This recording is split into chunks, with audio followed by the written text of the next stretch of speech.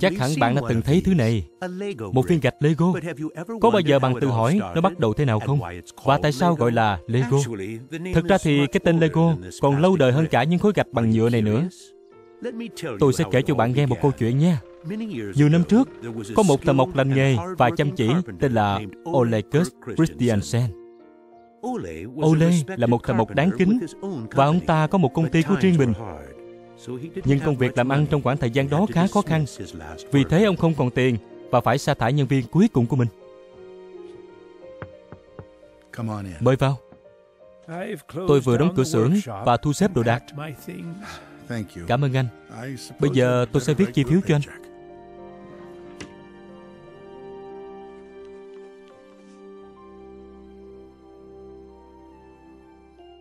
Bảo trọng nha.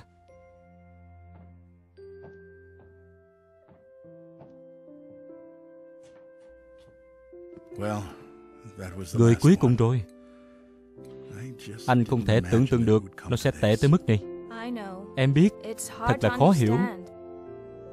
Nhưng ít ra thì bây giờ mọi việc không thể tồi tệ hơn được nữa. Nhưng cuộc sống vẫn còn có thể tệ hơn khi Ole mất đi người vợ của mình. Ole là một người đặc biệt. Ông không phải kiểu người dễ dàng từ bỏ và bằng trách nhiệm đối với bốn người con trai. Ông phải nghĩ ra một điều gì đó. Ole có một ý tưởng và với ông thì không bao giờ mất nhiều thời gian để biến ý tưởng thành hành động. Phát minh nho nhỏ của Ole làm cho các con vui sướng đến nỗi ông nghĩ mình nên bắt đầu làm đồ chơi. Ole quyết định làm thử. May mắn thay, ông đã để dành được khá nhiều gỗ từ xưởng mộc. Giờ thì ông có thể dùng chúng để làm đồ chơi. Thời gian trôi qua, mặc dù Ole là một thợ mộc lành nghề, thành phẩm có chất lượng cao và tinh xảo, nhưng doanh số bán hàng vẫn thấp. Thật may mắn là một trong số những người con của ông, Godfrey, đã bắt đầu giúp đỡ cha mình sau giờ học. Họ cùng nhau xoay sở để giữ vững sản xuất. Cuối cùng, tin tức bắt đầu lan truyền rằng có những món đồ chơi bằng gỗ rất tốt được làm ra từ một cái xưởng nhỏ ở Billund. Một ngày nọ, có một người đàn ông lái xe vào thành phố, người sẽ thay đổi tương lai của Ole. Ông là lái buôn đến từ Fredericia. Tôi nghe nói rằng ông đang làm ra những món đồ chơi bằng gỗ rất đẹp. Ôi, tôi chỉ cố gắng hết sức thôi.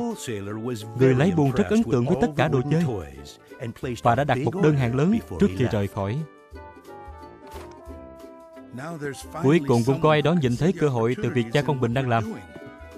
Con nhìn đây, người lấy buôn muốn đặt nhiều đồ chơi cho cửa hàng của ông ấy vào dịp lễ. Giáng sinh năm nay sẽ tuyệt lắm đây. Nhưng cũng sẽ rất bận rộn đó.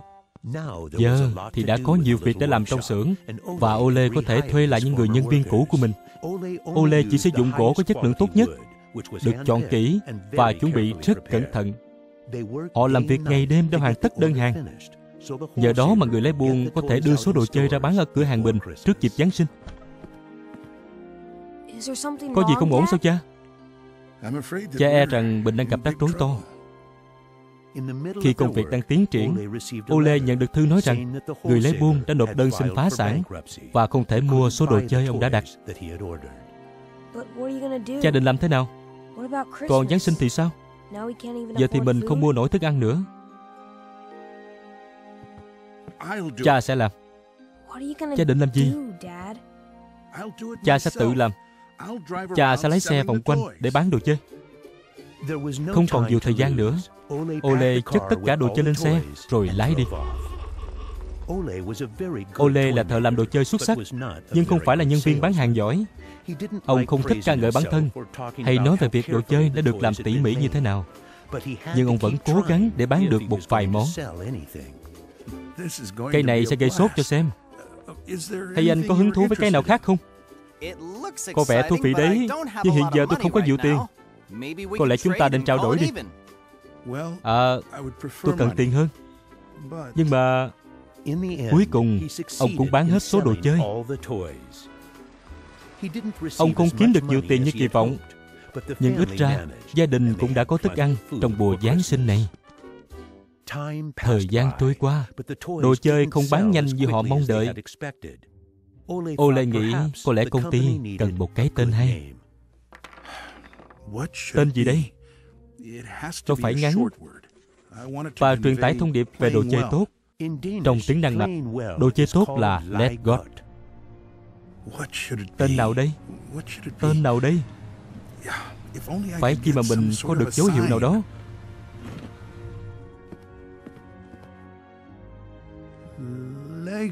Lego. Bạn thấy đấy, Ole cuối cùng đã tìm ra cái tên rất phù hợp. Nhưng điều ông không biết là trong tiếng Latin, Lego có nghĩa là xếp lại với nhau. Tên Lego đã được đón nhận và công ty bắt đầu phát triển từ từ. Chúng ta đã làm 3.000 phương biện trong năm nay và còn nhiều đơn đặt hàng nữa. Con nói là 3.000 phương biện sao? Vậy thì con hãy xem đây. Mặc dù Godfrey không cảm thấy thoải mái khi chi tiền mua máy phay, nhưng cậu ta cũng đồng ý rằng nó khá hữu dụng và chất lượng đồ chơi được cải thiện hơn. Con có thể tự hoàn tất được hàng cuối này và chuẩn bị cho việc vận chuyển không? Để cô làm cho. Cha, cha, hôm nay con đã tiết kiệm được nhiều tiền cho công ty. Thật không? Bằng cách nào? Con nhận thấy có thể tiết kiệm sơn mài, vì thế con chỉ phủ lên con vịt hai lần thay vì ba. Cái gì? Đáng tiếc là ý tưởng của Godfrey không được Ole chấp nhận. Ole bắt Godfrey phải gỡ toàn bộ số vịt ra, phủ lên chúng lớp sân mài cuối cùng và mang trở lại trạm xe lửa. Ole tin rằng đồ chơi phải có chất lượng cao và không muốn lừa dối khách hàng. Khi Godfrey trở về, Ole giải thích rằng đó không phải là cách tạo ra thương hiệu tốt. Bài học nhỏ này cho Godfrey thấy rằng mọi chi tiết đều quan trọng và chỉ có chất lượng tốt nhất mới là đủ. Cuối những năm 1930, Lego bắt đầu có lợi nhuận. Thậm chí khi chiến tranh thế giới thứ hai nổ ra, họ vẫn cố gắng hết sức vượt qua khoảng thời gian khó khăn đó. Dường như mọi thứ đều đi đúng hướng. Nhưng một đêm bão tố vào năm 1942 đã thay đổi vận may của họ. Một đám cháy, xưởng đang cháy, Nhưng khi lính cứu hỏa đến, họ không thể cứu xưởng được. Nó bị đốt trụi và tất cả bản vẽ và mô hình đã bị phá hủy. Ole bắt đầu mất hy vọng. Tất cả công việc của ông đã tan biến và ông hầu như mất luôn công ty của mình. Nhưng trách nhiệm với các con và công nhân đã thúc đẩy ông xây dựng lại Lego. Nhà máy mới được xây dựng. Không lâu sau, đồ chơi gỗ được sản xuất trở lại công ty nỗ lực để giành lại thị trường. Dần dần, nhà máy Lego bắt đầu vận hành trơn tru và Ole lại tìm kiếm những thử thách mới. Một ngày nọ, ông đến Copenhagen để xem chiếc máy mới vừa đến Đan Mạch. Đó là máy đúc nhựa và Ole rất hứng thú với nó. Chúng ta mua nó không? Đây chắc chắn là thương vụ tốt. Nó sẽ mang đến nhiều cơ hội cho chúng ta. Thú vị đó cha. Nhưng cũng tốn nhiều tiền đó cha à. Xem như con đồng ý rồi nha. Khi máy đúc nhựa đến Ole bắt đầu làm gấu nhỏ Và lục lạc bằng nhựa. Ông vẫn còn giữ khối gạch nhựa Nhận được tại hội chợ. Có điều gì đó Khiến ông không ngừng suy nghĩ. Mặc dù không ai thấy tiềm năng từ chúng Ole quyết định tái thiết kế và sản xuất Khi Lego tung ra máy kéo Ferguson màu xám, thì món đồ chơi nhựa này đã thành công. Không may là doanh số giảm vào mùa hè và công ty có quá nhiều đồ chơi tồn kho. Không thể như vậy được. Sản phẩm của mình có thể bán được quanh năm, chứ không chỉ trong dịp Giáng sinh. Godfrey quyết định tự ra ngoài để bán đồ chơi. Godfrey đi cùng vợ mình, Edith, người bạn luôn đồng hành và hỗ trợ tinh thần cho anh. Nếu không có tiền mặt Thì mình cũng cần bơ và trứng đó Mọi việc không tệ đến vậy Godfrey đã thành công với chuyến đi vòng quanh đất nước giúp Lego thoát khỏi khủng hoảng tài chính. Họ về nhà vừa kịp tiệc sinh nhật của Ole.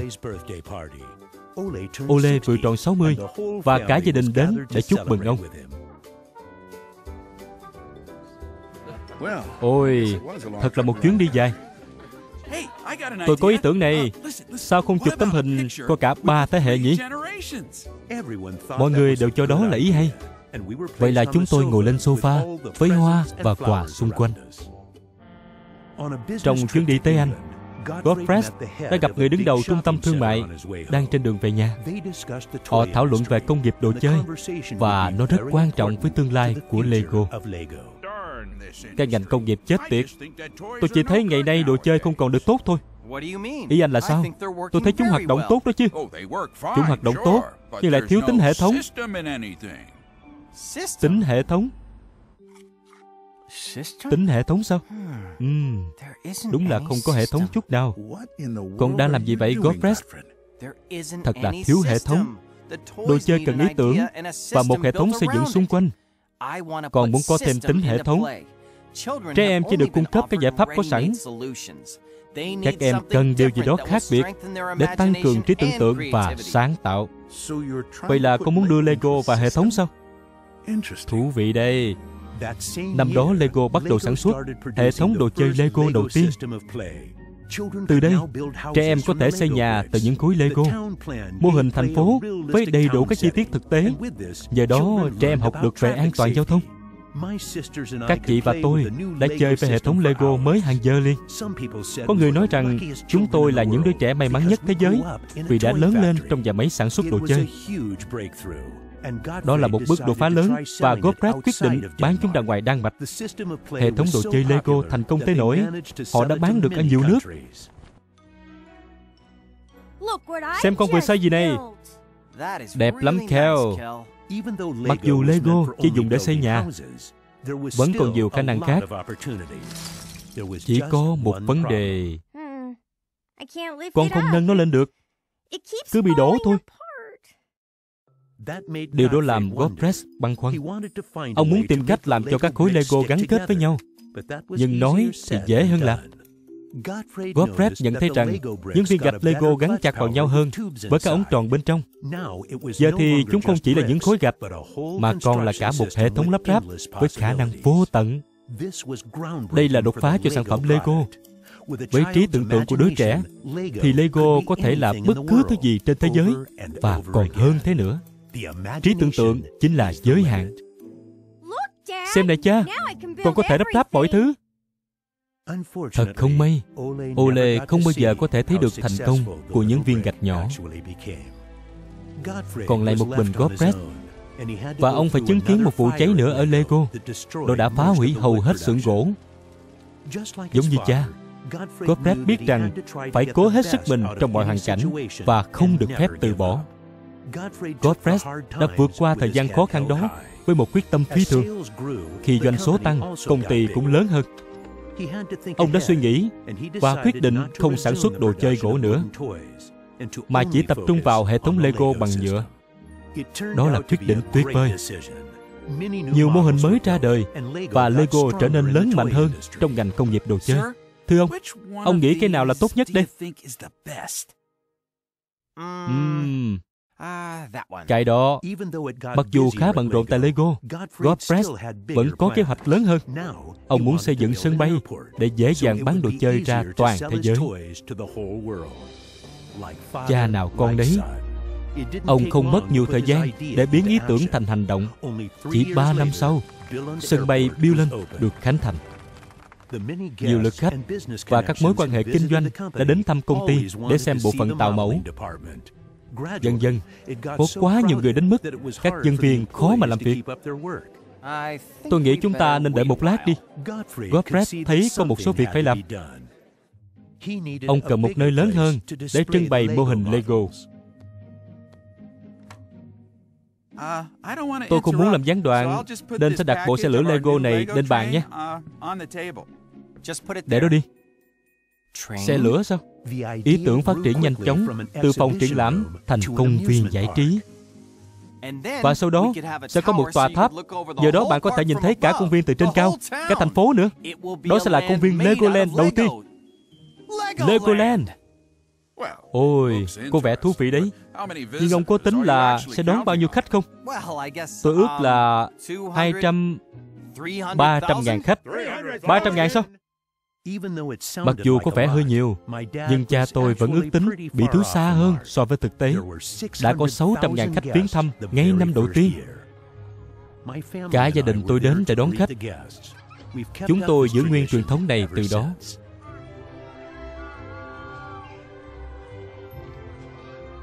Bây giờ thì bạn biết mọi việc bắt đầu thế nào rồi đấy. Lego sẽ không được như ngày hôm nay nếu ông nội của tôi không có những yêu cầu khắc khe về chất lượng nhằm đạt đến sự hoàn hảo. Cha tôi tin chắc vào khả năng vô tận của hệ thống Lego. Tôi thì tìm cách mang ý nghĩa của Lego đi xa hơn nữa, khuyến khích trẻ em khám phá, trải nghiệm và thể hiện thế giới riêng của các em, một thế giới không có giới hạn. Và chúng tôi vẫn bị thuyết phục rằng chỉ có chất lượng tốt nhất mới là đủ, bởi vì trẻ em xứng đáng với những điều tốt đẹp nhất.